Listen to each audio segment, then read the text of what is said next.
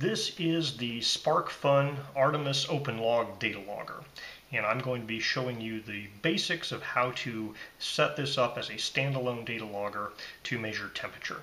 Now this guy has a nine axis inertial measurement unit um, and that has accelerometers, gyroscope, and compass built in. So this guy can track itself in space and know how it's moving in space.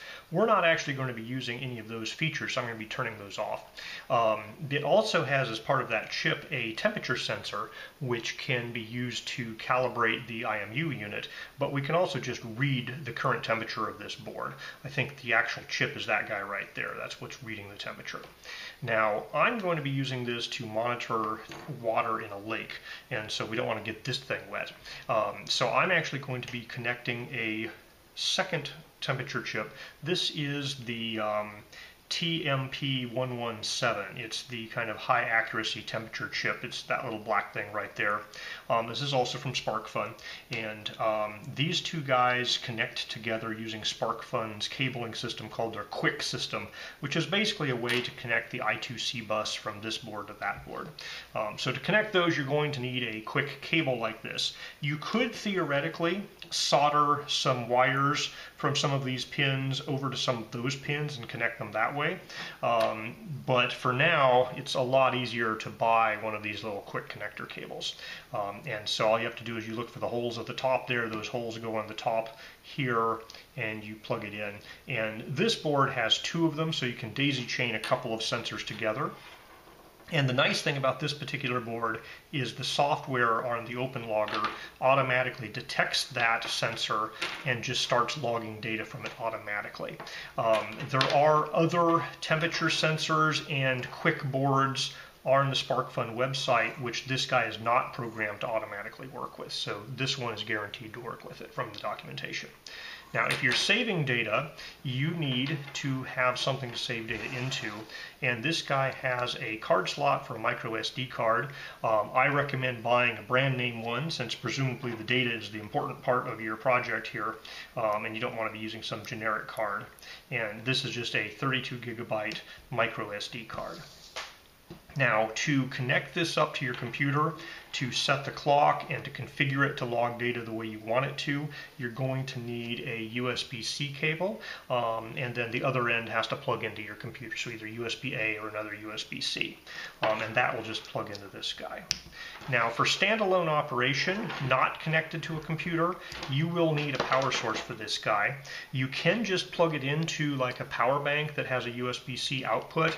Um, you could plug it into a solar panel that powers over USB-C, but they also have a JST connector for a single cell lithium ion battery. And one of the nice things about this board is it has a battery management chip that will charge a battery with power coming in via the USB port, um, and it will also run the board off of the battery.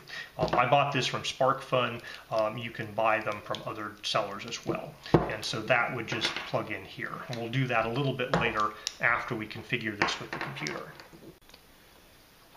So when you plug this guy into a USB port on your computer, it will have some power lights that turn on and some flickering going on that means, hey, it's logging data and connected to a serial port.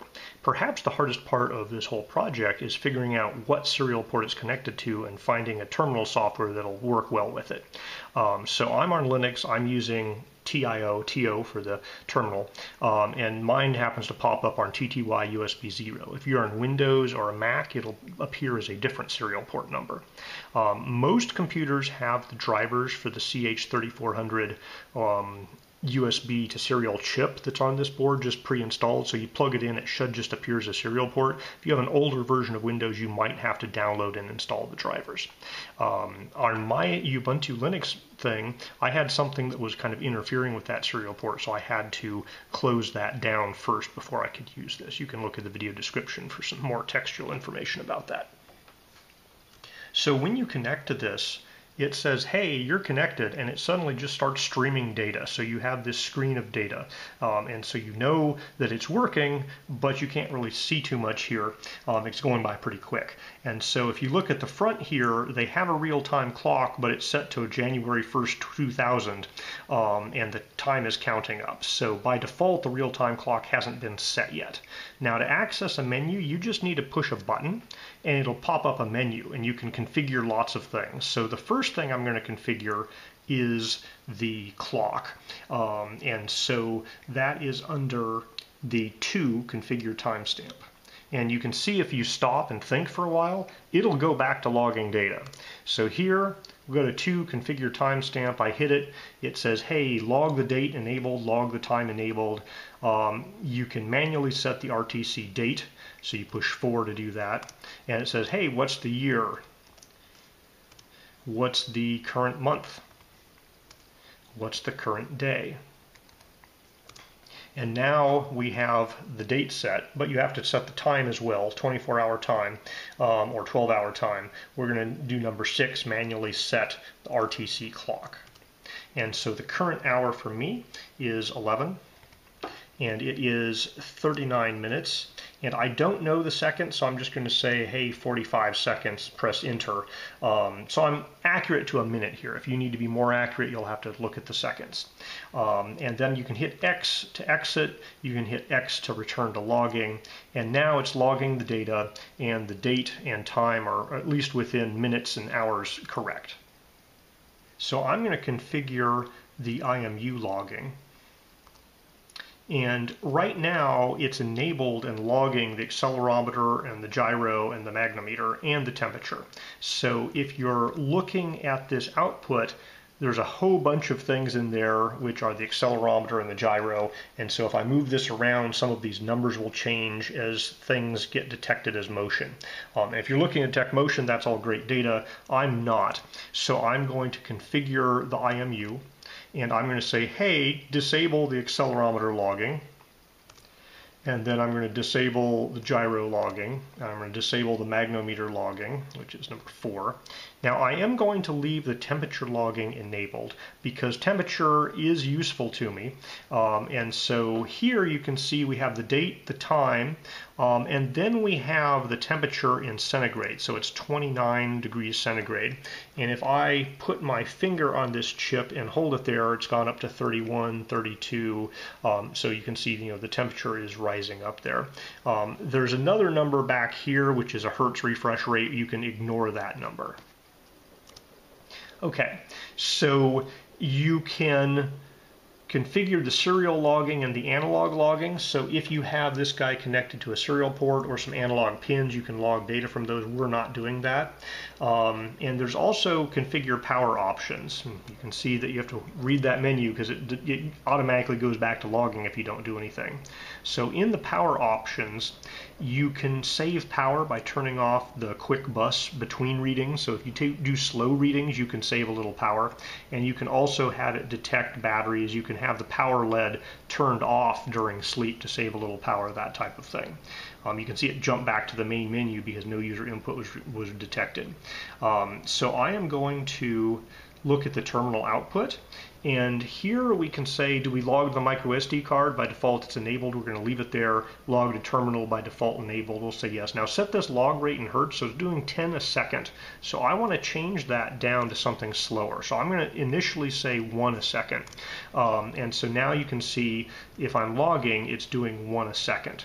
Now the only downside of turning this down to a slow speed is that when you want to get back to the menu and you press a button, it will only do that if it's currently logging something. And so if you set that to really slow, like 10 seconds, you might have to wait 10 seconds to get back to the menu to update things.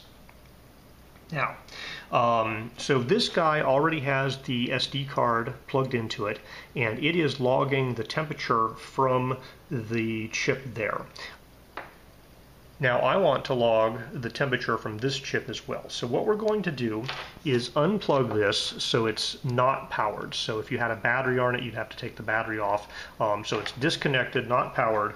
And then we can just plug in this Qwiic wire to the Qwiic port and that guy goes in there.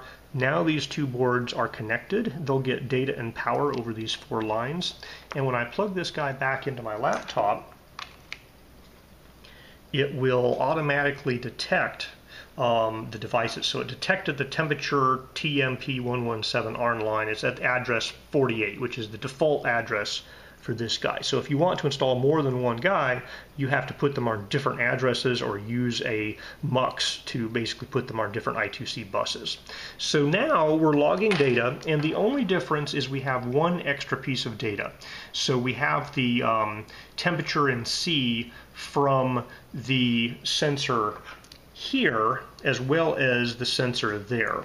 And so this one here, let's see, um, we have one that says 29 centigrade and one that says 25 centigrade. I believe this is the 25 centigrade. I'm going to put my finger over it. Um, now it's jumped up to 28, 29, 30. So that number there has gone up. Now, they have a H that says print the sensor helper text and then return to logging. So if you push H, you can see there's a header and there's real-time clock date, time, IMU degrees centigrade, and then just degrees centigrade, which is from this sensor here. And there's also the output hertz, which we can ignore right now. So that's all you need to do to make a logger. And right now, in addition to logging the data out to the terminal so we can see it on the terminal, it's opened a file, a text file, a CSV file in this um, micro SD card, and it's saving the data to that card. So if you provide it power with USB, um, it will record the temperature both from this chip and from the temperature sensor on the IMU chip there. Um, and so it's just logging data right now. And if you want to log data once per second, you're configured. Now, if you want to log data at a slower rate to save power, there's a couple of things you'll want to do. Um, so first of all, we probably want to go and edit the power savings first. So that's number seven here. Um, and we're going to say turn off the Qwiic bus if the power readings are longer than two seconds. And then we're not going to power the LED during sleep. So we're going to turn that off to disabled. Um, now, if you had a battery, you might play with your low voltage detection on the battery, but I'm not doing that just quite yet. So we've set this to sleep if the sensor reads are you know more than two seconds apart. Um, so we're going to go to the terminal, to set log rate in seconds between readings, which is currently one. So I hit five, and now I can say, hey, let's do 20 seconds between readings. And so right now it is going to return to logging. And you might notice it logged two pieces of data and then it went to sleep. So the lights turned off and there's no real visible indication that it's doing anything.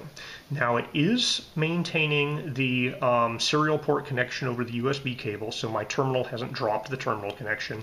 There, the lights turned on, it powered up the bus, it took a reading, and then it turned off again. Um, and so right now it's drawing a lot less current than when it's powered on and running. So basically this low power sleep state doesn't take too much power, although it does take a little bit of power with the USB bus and the chip. And there it turned on and it's doing things again. So it's going very slowly and logging data, you know, every 20 seconds. Now if I push enter here, nothing happens because the chip is not really active. And so I have to wait until we have the chip turn on to get that menu back. Um, and you can see there, I pushed enter a few times, but it did not actually um, pop up the menu because I wasn't pushing enter when the chip was on. And so this is annoying when you're trying to configure things. So you generally want to set your long timeout, you know, when you're done configuring everything else. So now I have to sit here and I was pressing enter several times and then I got the menu up. And so now I can say, hey, I'm going to configure the terminal and instead of doing 20 seconds between, I can go back to, you know, one second between. And so now when I am um, logging and so forth, it will log every second. And because one second is more than the two seconds between reads, it's not even bothering to power down the bus. And it's not powering down the bus, it's not powering down the chip. So at any point, I can get a menu back. Um, so I'm going to set it back to do every 20 seconds. Um, and so now it's set to do every 20 seconds. And if I unplug this from the computer, it turns off and I'm disconnected. But if I were to plug this into a power source, it would start logging once every 20 seconds. So for example, this might be where your battery would come into play. Um, so we're going to plug this battery into this board here through the JST connector. Now there is a reset button. You can push the reset button and it turns on. Um, it reset and it started working. There's a red light here. And it is not currently logging. Now it just shut itself down again. So when you hit that reset button, it turns on and it sits there for just a little while, you know, waiting for a connection on the USB port, waiting for somebody to type something. And if it doesn't get anything, it will start logging. Um, and so you saw it light up and then turn off again. It was logging. We're going to have to wait 20 more seconds. And in 20 seconds, the light should come on. It'll log some data. There it goes. And then it turns off again. So right now, these two guys are independently um, just logging data onto the micro SD card. And you never really need to use a computer again at this point. Um, you can simply unplug the power cable take out the micro SD card um, and read the data off of the micro SD card. Now I do wish there was a power switch on this board where you could turn the power off as opposed to having to unplug the battery to remove the power. Now you're not really supposed to plug or unplug sensors or take this SD card in or out while it's powered. And so if it's plugged into a battery here, unless you've added a switch between the battery and this guy here, um, you're going to need to unplug that before you make changes to the hardware. So I like having a little pair of needle nose pliers to grab this white connector and make pulling it out easy. You can do it with fingernails, but it's just a lot easier with a pair of pliers. So now that that's out, we can push this card in, pop it out, and then load this data onto a computer, anything that reads a text CSV file. All right, so I've put this micro SD card into my computer and I just have data log 000, 0001, 0002. And so our last log from this last session is right in there. And that's when I plugged in power from the battery and started logging once per second. Um, and so if you look at the one before that, it's probably when I was playing with it powered by the USB-C. And so, you know, there's all the data there. Now there's also some device settings in a text file here. And so it says, hey, there's a temperature sensor TP117 um, and it has log equals one, which means turn it on and log the temperature is yes, do that thing. Um, so you can you know configure each device independently that's on the I2C bus. And then there's the settings for this guy here. So you have all those there. Now, presumably you could edit the text file here and then put it back in the um, device and it would update those settings from the text file so you don't have to use the menuing system. So if I want to open one of these data logs in something like Excel, um, I'm going to rename the file so instead of a TXT extension, it has a CSV extension. Um, and then I'm just going to say, hey, I want to open this thing with LibreOffice. And so it says, hey, it looks like comma separated files. Say, okay, let's import this. Um, and we're going to have here a set of data with the header at the top that says, hey, here's the date and time, the degrees centigrade from the IMU unit built in the Artemis data logger, and the degrees centigrade from the external temperature sensor. And so as you can expect here, you can take this temperature data um, and then just say, hey, I want to plot this as a kind of line chart with maybe just lines. And it will make a graph for you. You can see this spike here. Um, that's probably when I put my finger on the sensor and heated it up, and then the sensor gradually cooled back down to ambient temperature. All right, so that's the basics of how to hook up the electronics and configure them so they will just automatically log data to a micro SD card. Now, there's a lot of trickiness with the I2C buses. Specifically, each of these guys has to have an address. These particular temperature sensors can be configured to have one of four pre-programmed addresses. Um, and if you want to do more addresses than that, you're going to need a, a multiplier, a MUX board that will make multiple buses. Um, so in our next video, we'll be talking about changing the addresses of these guys, daisy chaining multiple ones together, and MUX boards to allow you to have multiple sensors hanging off of a single data logger.